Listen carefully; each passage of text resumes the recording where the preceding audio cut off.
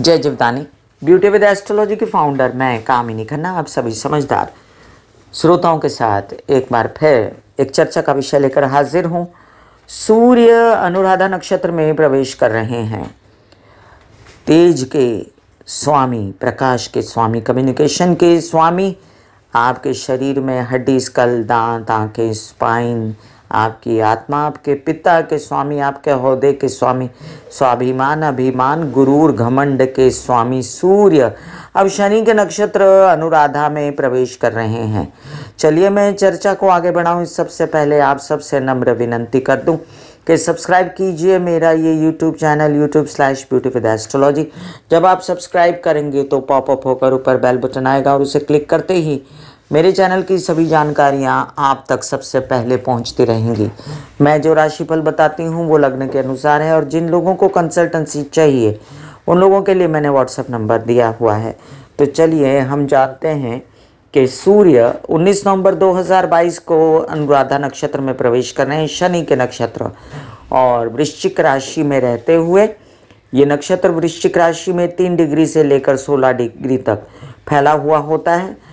वहीं पर सूर्य 2 दिसंबर को ज्येष्ठा नक्षत्र में प्रवेश कर जाएँगे और ये जो स्पैन है, पूरा 12 दिन का 19 नवंबर से लेकर 2 दिसंबर 12 दिन के लिए सूर्य जो है 12 या 13 दिन के लिए सूर्य जो है, ये अनुराधा नक्षत्र में रहेंगे, यानी कि शनि के नक्षत्र में रहेंगे। अब हम अनुराधा नक्षत्र का चिन्ह जानते हैं। कमल बना हुआ है आपस में।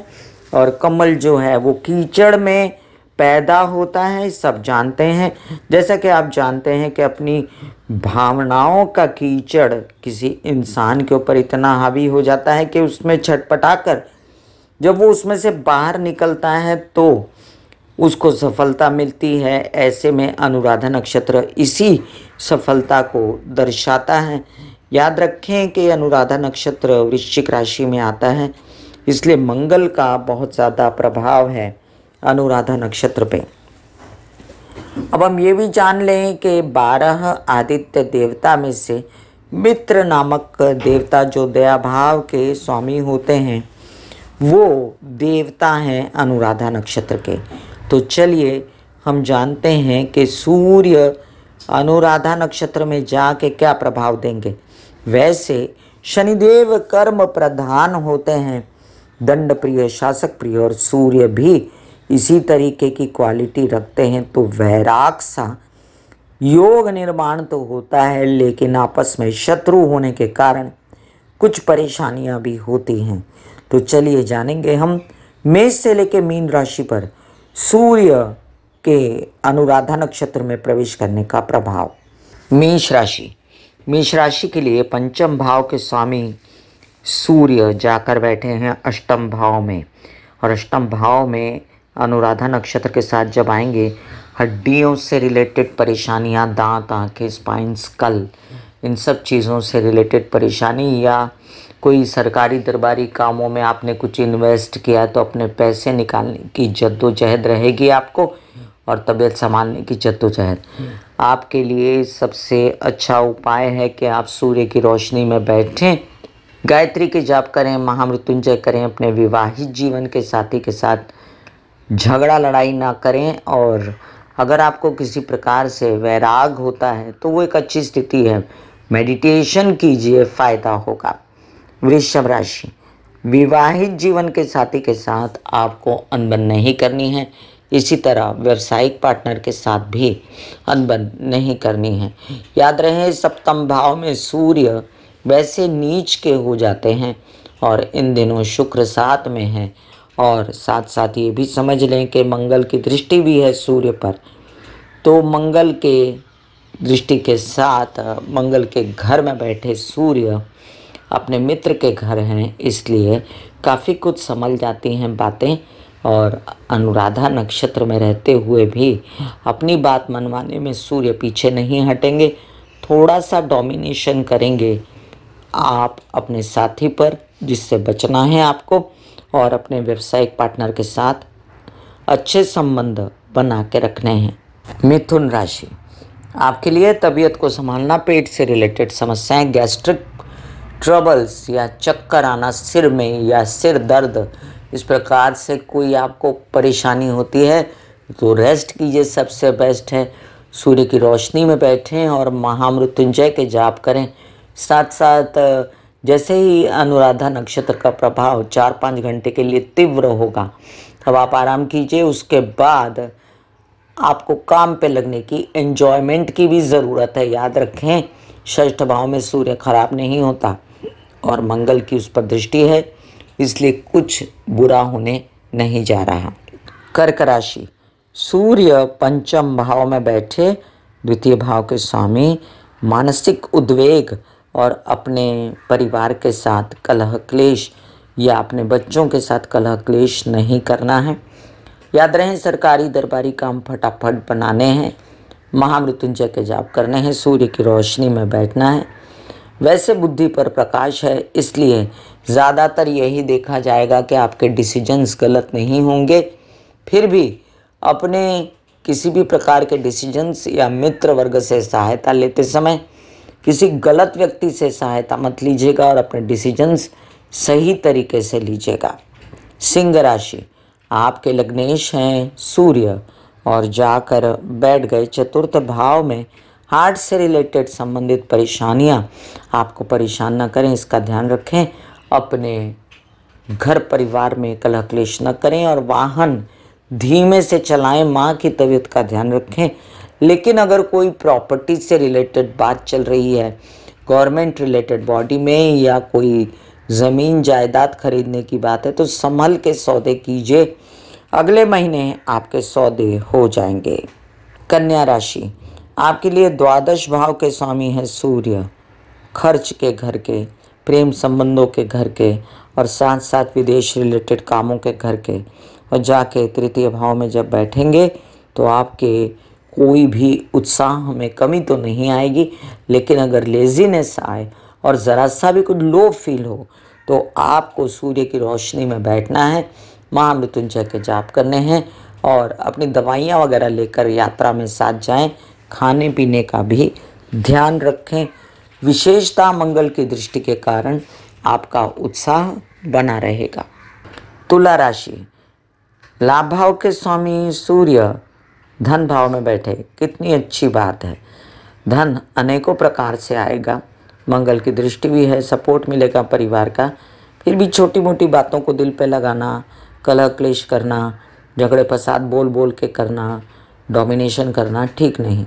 अपने पैसों को संभाल लीजिए और अपने पैसों का पूरा उपयोग मत कीजिए, संचित धन को बिल्कुल मत निकालिए।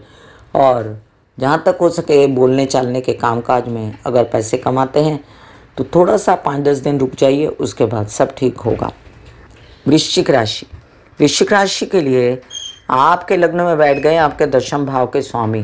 क्या ही मज़ा है कि कई सारे काम सूझ रहे हैं, प्रकाश पड़ गया है पर्सनालिटी पर। सोच रहे हैं कि जल्दी जल्दी बना लूँ सारे काम। सोच रहे हैं कि गवर्नमेंटल बॉडी से रिलेटेड काम बना लूँ। और बीच में आया ट्रैफ़िक हवालदार।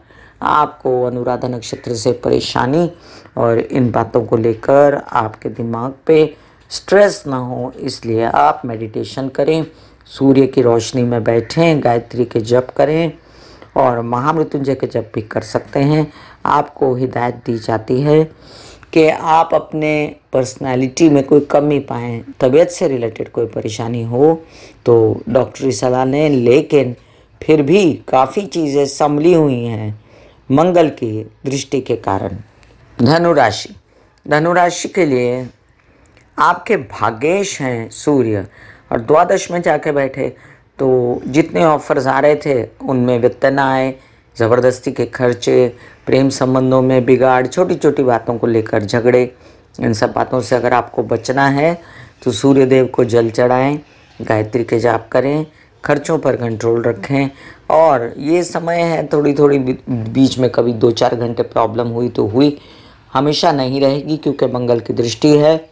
आपके वृश्चिक राशि पर और आप सभी स्थितियों में संभालते रहेंगे। सिर्फ़ खर्चों की अधिकता से बचें आप। मकर राशि, आपके लिए अष्टम भाव के स्वामी हैं। सूर्य, आपके तबीयत के स्वामी, आपके आयु के स्वामी पार्टनरशिप के स्वामी और लाभ में बैठे हैं और आपके लग्नेश के नक्षत्र अनुराधा से गुजरते हैं। ऐसे में आपको अपनी तबीयत संभालना, आपके कई सारे काम जिसमें आपके सरकारी दरबारी काम हैं, उन पर कंट्रोल रखना, कोई भी केस और विवाद में ना उलझना और आपके ताया चाचा पिता से अच्छे संबंध रखना आपका पहला काम होगा।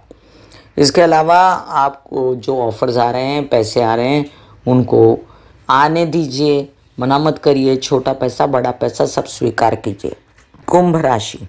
आपके लिए आपके सप्तमेश हैं, जो आपके दशम भाव में जाकर बैठे हैं।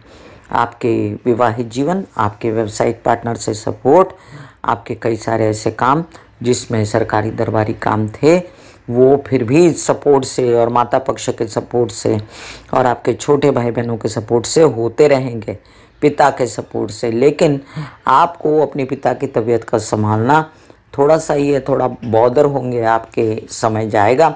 और थोड़ा आपको काम के स्थल पर झगड़ेबाजी नहीं करनी है।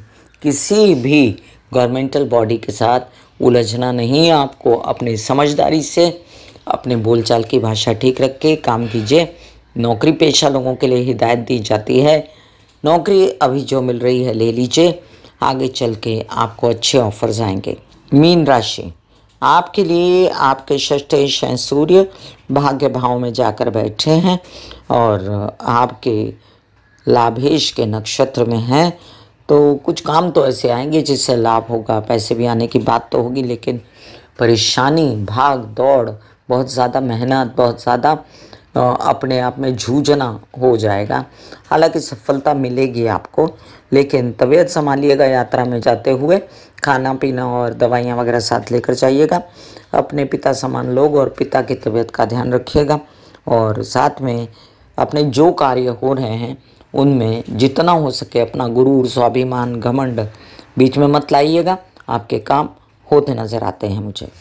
मैं कामिनी खन्ना बता रही थी सूर्य के अनुराधा नक्षत्र में जाने का प्रभाव।